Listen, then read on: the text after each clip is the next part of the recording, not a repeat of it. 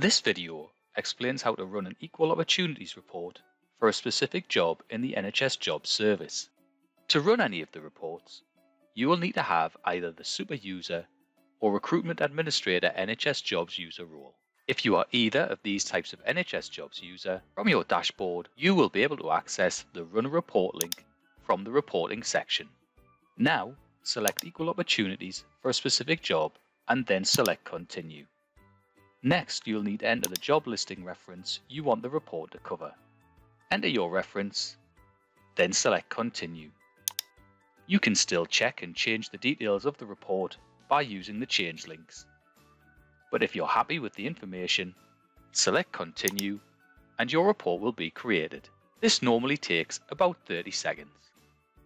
Now, you can download your report to see the data it has returned,